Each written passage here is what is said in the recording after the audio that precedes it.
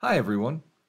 Depending on how complicated the final geometry on your models is, there might be instances in which you will have to apply multiple materials to an object. So to do that, you need to remember that materials are applied at the face level of the objects. So we're actually looking, taking into account the normal direction of our um, faces in order to apply materials. Now with that in mind, what I want to do is use this model of the rocket to apply two different types of maps, one to the left and one to the right. To do so, what I want to do is I want to select the object. And the first thing I want to do is I want to make sure that I don't have any underlying UVs that I that might be there by accident, created before, or that got um, inherited from the original shape of the object, which in this case was a box.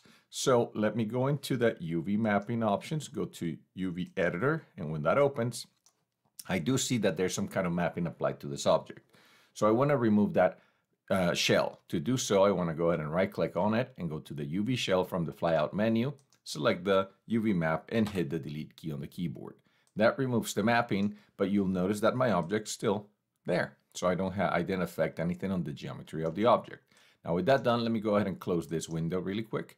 In, in order to apply different materials to the object, I need to select, like I said before, the faces. So I'll go ahead and right click and go to face mode. And I'm going to switch my view to the front viewport. I'm going to zoom into this object. And then I'm going to go ahead and select, let's say, the left side of the object in this, in this case. So I'm going to go ahead and select, drag a selection across this. And you'll notice that by doing that, I sometimes skip some of these. So I want to go in and make sure that I have the entirety of the geometry selected. So with that done, let me go back to my perspective viewport, make sure that I did do indeed have that entire area selected. And with that done, what I want to do is I want to go ahead and apply a material to this. So I'll simply go ahead and right click on it and go to my assigned favorite material. In this case, I want to apply a simple Blinn. So with that done, you'll notice that I got some specularity on my object on the left side of the object, but my right remains really dull. That means that I have my uh, the default Lambert material on this side, but the other half has the Blinn material. You will notice also that I have the Blinn material node appear on my, on my attributes window, so I can go ahead and at this time rename this material. So I'll call it, this is the left side, so I'll call it left matte. And I'm gonna apply a change in color so that you guys can see that basically the material was only applied to that side of the object. Then with that done, what I want to do is I want to reverse my selection. I want to inverse my selection to select the rest of the faces on the other side. And I want to do that by going select, inverse, or control shift I.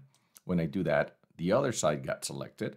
I can then right click on it, go to assign favorite material, and I'm going to apply another Blinn to that. It can be any material, by the way. I'm just simply applying Blinns because that's the easiest thing. So I can go ahead at that point and apply a different color to it so you guys can see that two separate materials have been applied to the object.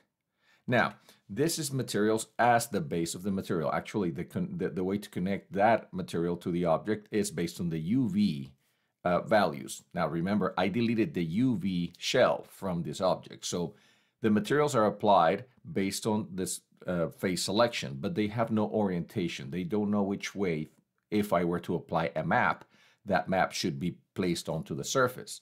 So to do so, I need to bring back the UV mapping. I need to create UV mapping. In this case, however, because the maps are, I deleted the maps, I need to go ahead and select where I'm going to be applying those maps from.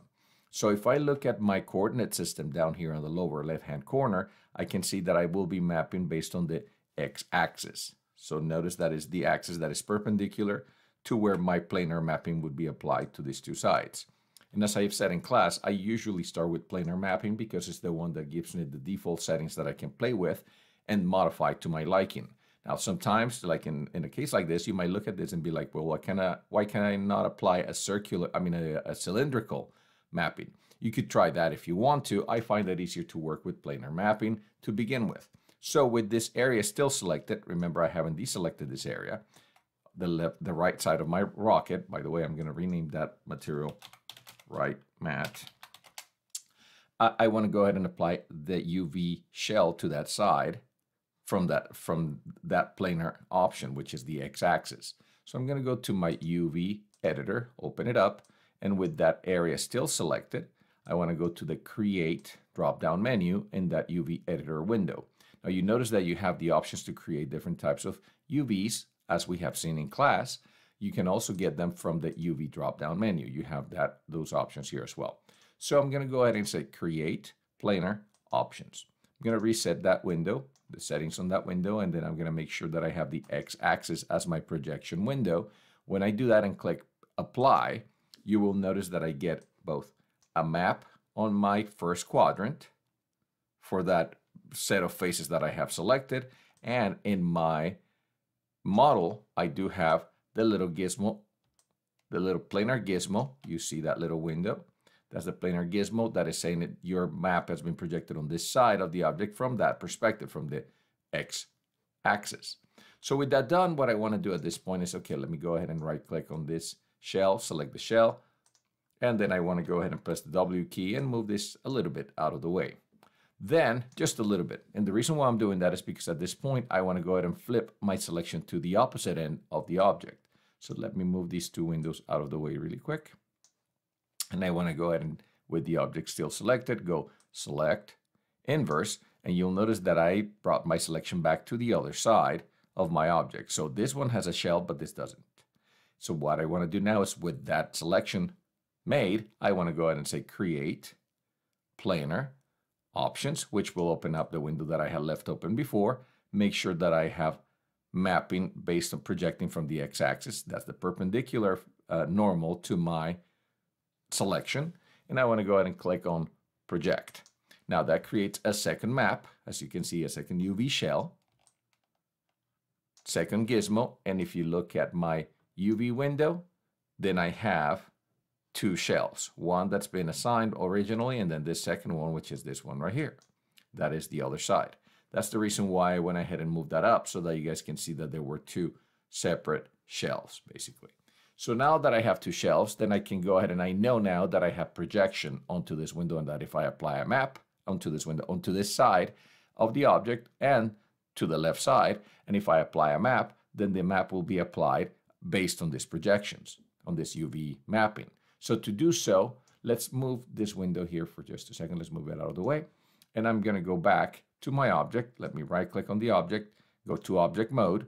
And you will notice that if I scroll over to the right of my um, the nodes on the attributes window for my object, I have not only the Lambert 1 material, but I also have the left material and the right material attached, all of them attached to the object. So I have multiple materials attached to that object.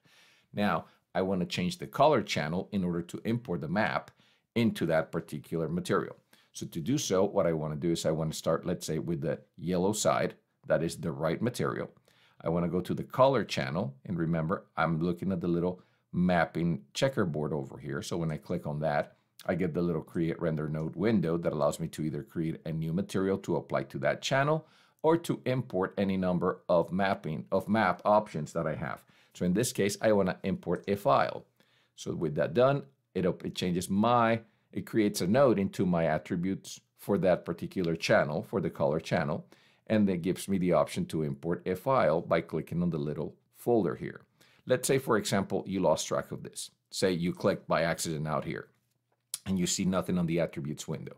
Simply select the object, go into the channel for that particular material, the right material, dig in and you'll find the little folder. So once you have that in there, click on that little folder. It will open up the options to go to your source images folder. And in our case, I want to go ahead and use the red uh, rocket left, I think it's called. No, we're using the, we're changing the right. So let's do rocket right. So it would be rocket body right. That's the one I would be using. So click open on that. And you'll notice that the map was projected onto my um, UV window so I can see it there. And if I want to see it on my window here, I need to make sure that I go to the shading option for my viewport and click on hardware texturing. There, that way I can see that the actual mapping was applied to the object, as you can see. Now I can modify the position of that based on the position of the UV map over here. So what that means is if I want to move my map up or down, I can go ahead and say, okay, let me select the UV shell for that side, which is this one. And if I use the move tool by pressing the W key, I can go ahead and move the position of that mapping. Let me actually reduce the size of this slightly so we can actually see what we're doing. If I move this, I can go ahead and based on the UV mapping that I had created, I can position my artwork. So let's say I want it here. Remember that the UV mapping on Maya only takes into account the very first shell, the 0 to 1. So from here, from 0 to 1 on the x-axis, on the y-axis, let's call it that, and the 0 to 1 on the x-axis.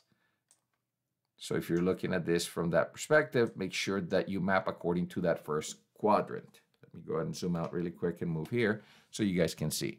So now it only follows that if I go, go ahead and align the second shell, let's select the second one, zoom in, and I move it up to match the other one, and I make sure that I simply place my second map in the exact same spot, then the second, the other side will have the exact same result. So let's move this around, select the left material node, which is this one, go to its color channel, import the image that I want to map. Let me go ahead and import that image.